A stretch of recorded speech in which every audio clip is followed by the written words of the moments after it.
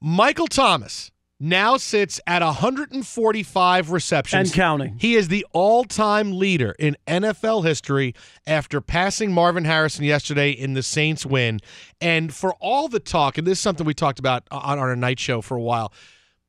Lamar Jackson clearly is going to be the MVP of the NFL. For for all the talk about Lamar and Russell Wilson, That look, Russell Wilson will get votes. he'll get votes, That's but all. It won't be unanimous. Like some some people were arguing at one point that it it should be unanimous. It's not going to be unanimous. But but here but here's the thing: as good of season as Russell Wilson is having, Lamar Jackson just has the it factor about him and what he the jump he was able to make. He's got his team the best team in the AFC and the odds-on favorite to win the Super Bowl. But then there are people who would, would would look and say, well, he has 11 other Pro Bowlers on his team. Is it all him? You know, he's getting all the credit and accolades. They got a hell of a football team there, Baltimore. oh, they do, but he's also leading the league in touchdowns, I- and he's run for a He thousand. would get my what, vote. what else does he need to do? He would get my vote. So I'm not saying that, but I think that there are other people out there who might not follow suit and say that what Russell Wilson was able to do, right? He he only has one other Pro Bowler on his team. well, that's why I can make a great argument for Michael Thomas as the MVP Wow. in the NFL. All right, he's going to get to the number that cuts through the clutter 150 receptions right? All-time leader. He's going to they're going to do everything they can to get him those five catches next week. 150 receptions a number we've never seen. Marvin harrison's record stood for 17 years.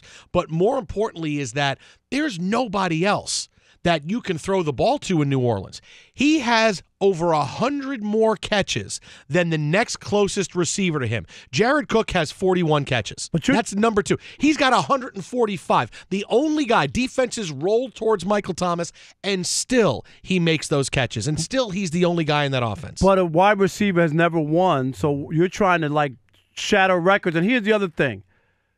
The other record you just talked about for 17 years, the only problem I have with this is they throw a hell of a lot more now. So some of the numbers are skewed. It's just like even even Dak Prescott and some of these guys with all the numbers. He's the second most most yards ever in the history of the Dallas Cowboy uh, passing yards, right? Second all time. Well, they throw the football a lot. In the other in the old days, they didn't throw the football at this rate. So even his and I'm not trying to poo poo. But still, eh, they throw the football But- all the time now, and it still stood for 17 years. I, I get it, but they throw a lot more the last couple of years than they ever have, and I just the the record is a little, a little hollow to me. It's going to be 150. I understand. Not 110. But do you- Not 120. Not, it's going to be 150. but do you agree that they throw the football Oh, they more? do. Okay, I, that's all I'm saying. They do throw it more, but 150 more when there's nobody else. I mean, think about it. I don't think he's MVP worthy when you think about some of the other seasons that the, the two quarterbacks have had.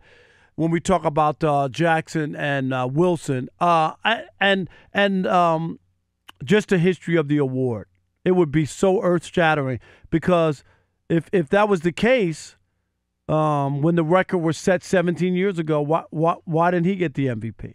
You're the H wrote now, I'm the sorry. wide receiver of all time. No, I'm just You're hating on, saying. hating on a guy who, who's going to do something. And I agree. If you're a, if you're a wide receiver, you're a non-quarterback. You need to do something special that no one's ever seen before. Ta-da! 150 catches. Now, if he was able to get to 2,000 yards, 150 and 2,000, I would say that's a toss-up between him and Lamar Jackson. Now, he's not going to get to 2,000 yards. He's going to probably finish up around 1,800, which is still a phenomenal a year. number. I'm not even trying to discount But his year. You, you talk about uh, uh, Lamar Jackson, 11 Pro Bowlers. Like I said, Alvin Kamara is the only guy catching passes, and he's doing it out of the backfield. Nobody. He's got 100 more receptions than the next closest pass catcher on. a 100 more. So you know how teams roll coverages towards him, and still, that big wingspan, he doesn't drop. He had one drop pass in the last 25 games. I mean, that's how good he is. His first four years in the league have been absolutely amazing. I, I get it. And he set a record, but I just think uh, where we are in the NFL,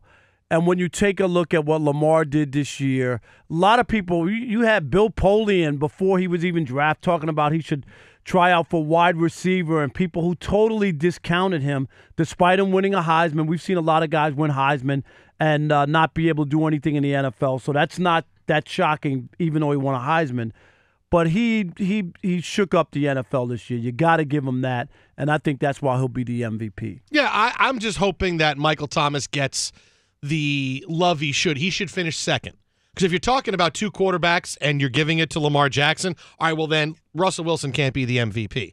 Michael Thomas should be that should be that guy. So you want him to, be, be, like MVP. Jerry Rice, who finished second one time as MVP. Sure, he should absolutely. He should be. He should be number two with a bullet. And if he had two thousand yards, I'd say it'd be a toss up Yeah. because those are numbers that just no matter what you want to say, that cuts through. One But, you, but the thing is, when you think about this football season, 2019, you think about Lamar Jackson. you do, but Am I right? You do, but you're you can't tell the story of this season without Michael Thomas being at the very top. 150, Rob.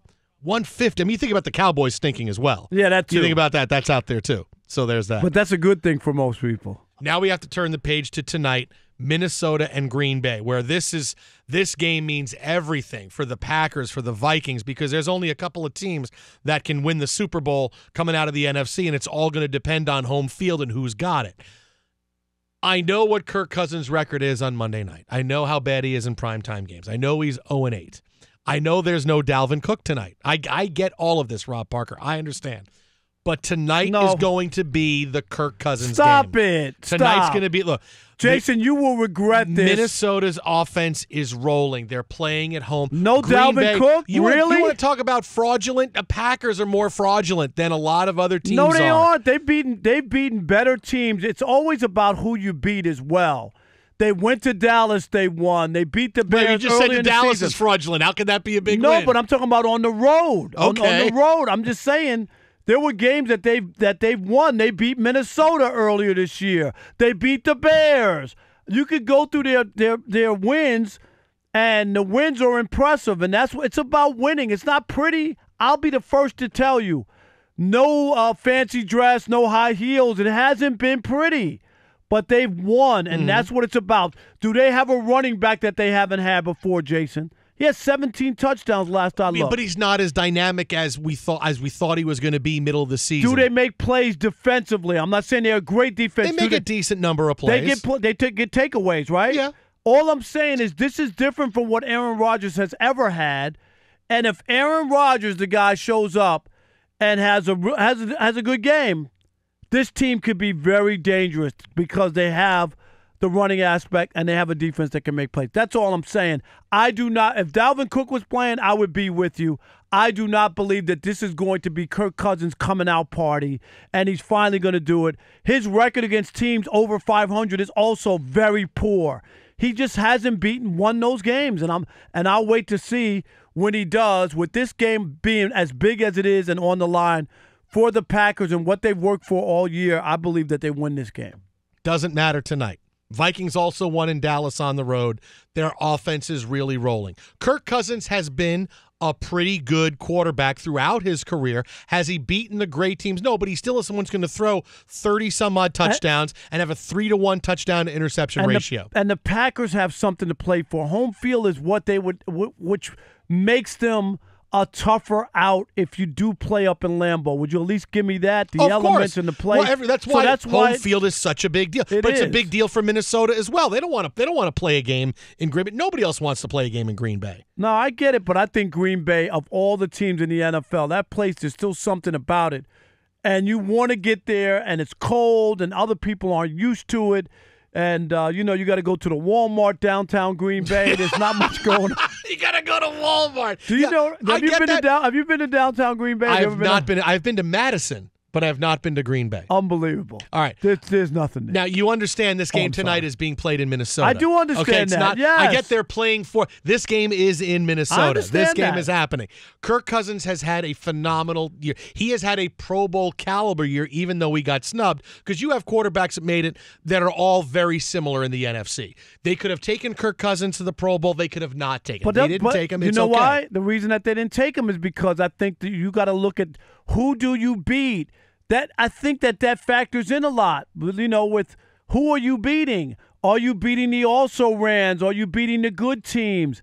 And I think that those things matter. And that's why Dak's numbers early on didn't matter to me. The three and zero start because they were against the three worst teams in the league. Would you agree with that at that point? Yes, they were against the three worst the teams. three worst teams, and all of them wound up having horrible seasons. Right, but you're ten and four. You're not. You're not seven and seven. You're ten and four. The Vikings. You've beaten almost everybody. No, You've I beaten get everybody. it. I get it, but I think the Packers have a have a better run, and I think that a, a better record or resume, I'll say a better resume. And if they beat them again and beat them in Minnesota, this will be exactly what they want. I think this is the game that Aaron Rodgers wants to come out, play well in indoors, right? You got to run him back, have a defense, get uh, one or two turnovers, uh, takeaways, and you're good to go. Well, the good news is you and I are going to get to find out which one of us is right tomorrow because we're doing the show together tomorrow. Yes, I'm going to be right. This as will be I the, always am. the Kirk Cousins game. We're gonna. It's gonna have a name. Okay. The Kirk Cousins game. He's gonna rewrite everything. He's just gonna have that. This is his season. This is Why his are you game. making me? You're like Chris Broussard. You're going to have me in the parking lot after he tanks it tonight, and I'll be waiting to come in again. I'll have to sleep in the parking lot, waiting to get at you tomorrow here on the Dan Patrick Show.